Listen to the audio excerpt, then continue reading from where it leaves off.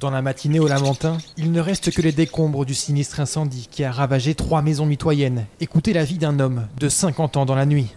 Autour du périmètre de sécurité instauré par la gendarmerie, la famille de la victime, ses proches, amis et voisins assistent fatalement à la scène. C'était vers 4 heures du matin, je dormais, j'ai entendu un ami appeler le voisin, un voisin à côté pour le prévenir euh, d'un incendie. Pleine nuit, euh, ça a été assez inquiétant. Donc tout de suite, on est sorti. Le réflexe qu'ils ont eu, c'est d'aller prévenir s'il y avait du monde à côté. Donc euh, la flamme avait déjà bien gagné la maison.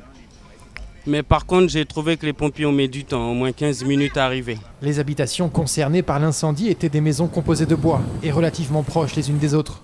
Dans une telle situation, le risque de propagation des flammes était trop important selon les secours. Vers 4 heures du matin, nous avons été alertés pour euh, un feu d'habitation au bout du Lamentin. On a été confronté à un feu d'habitation, une habitation à un étage complètement voilé, à structure bois plus béton.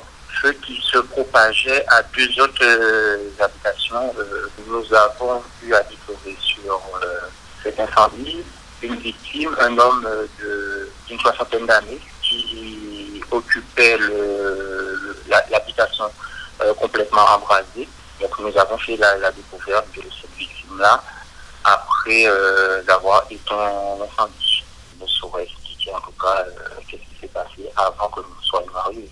25 pompiers sont intervenus pour éteindre les flammes de cet incendie vif et mortel.